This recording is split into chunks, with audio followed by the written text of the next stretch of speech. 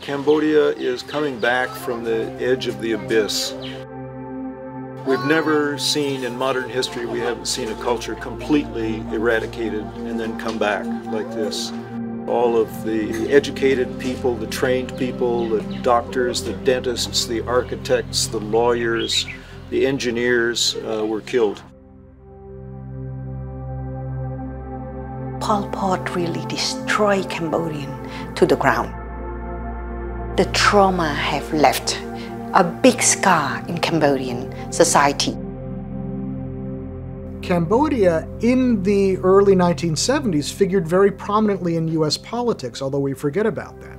The Kent State massacre, for example, had to do with protests against not the war in Vietnam, but the US incursion into Cambodia. The first articles of impeachment drawn against Richard Nixon had to do with the secret bombing of Cambodia, not with Watergate. You have to understand the history, but also the demography of the country.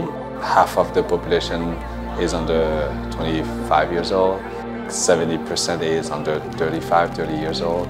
So you have that massive youth generation coming into the time. The young look only forward and they don't compare to the past that Cambodia has survived. They compare with other countries' present and future. You know what they were shouting at the demonstration? ថាអាយឡើងហើយនៅក្នុងបាតកម្មគេសើគេយ៉ាងម៉េចឯនោះ Hun Sen out. ធម្មតាប្រជាធិបតេយ្យយើងគេចង់ឲ្យយើងចុះប៉ុន្តែខ្ញុំក៏គាត់ទៅប្រាប់ទៅគេថាខ្ញុំឡើងតាមរដ្ឋធម្មនុញ្ញខ្ញុំចុះទៅវិញទៅតាមរដ្ឋធម្មនុញ្ញដែរ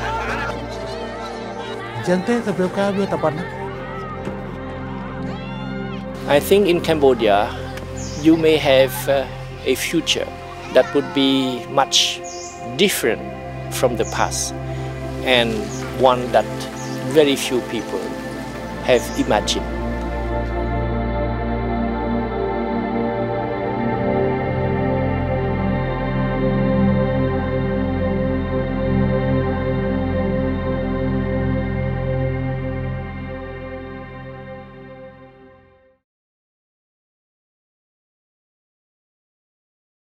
Available now on video on demand.